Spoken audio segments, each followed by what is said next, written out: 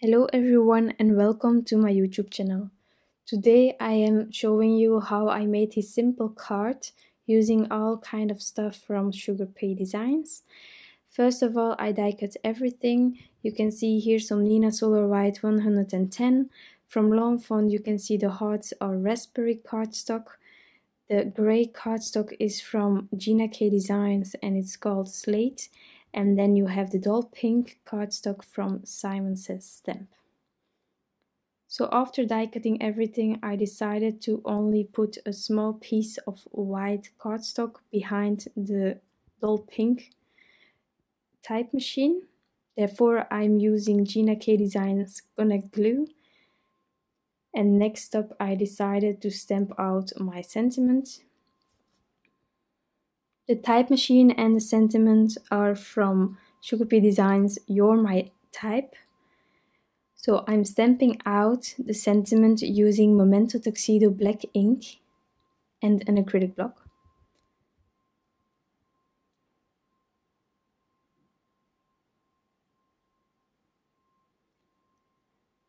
Next up, I decided to continue with the type machine.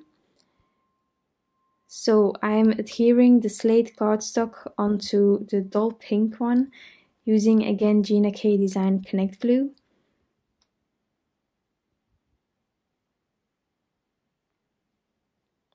Next I decided to put some hearts on my letter as well as on my type machine. So therefore I'm using my quick stick tool to help me place everything on the right spot and then I am gluing it down.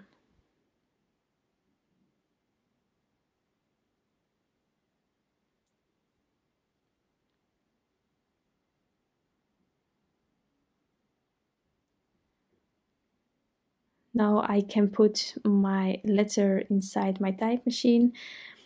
I first thought about using Gina K Design Connect Glue, but then I just took some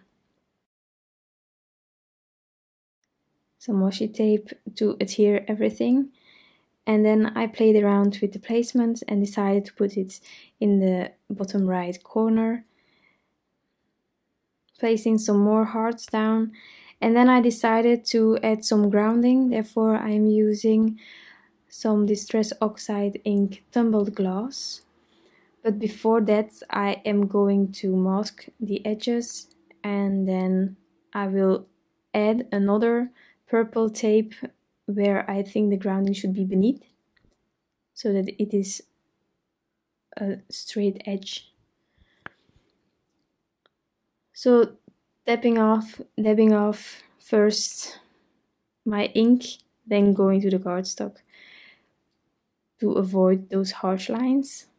Peeling off my purple tape in an angle so that I can avoid ripping my paper and then it's time to adhere everything. So for the type machine I decided to use some thin foam squares from scrapbook adhesives. They are my favorite adhesive, um, definitely because it is not that high, because they are the thin ones, and it's really easy to peel off the backings. Um, and then I am adhering it on top of my panel.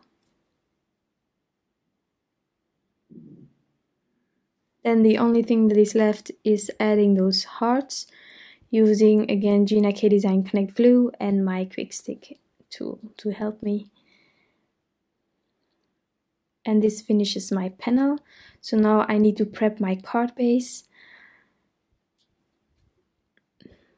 I stamped out my own stamp with Memento Tuxedo Black ink and then I creased this panel making it a an, an American size guard base A2 and then the only thing that was left was adhering the panel on top of it as straight as possible so I used my permanent Pritt adhesive tape roller to add some adhesive on top of it. It was not that easy because of course with the type machine it's a bit um, raised, uh, but I managed. And then I adhered it on the card base. And that finishes off my card. I hope you liked it and um, thank you for watching. I hope to see you next time. Bye!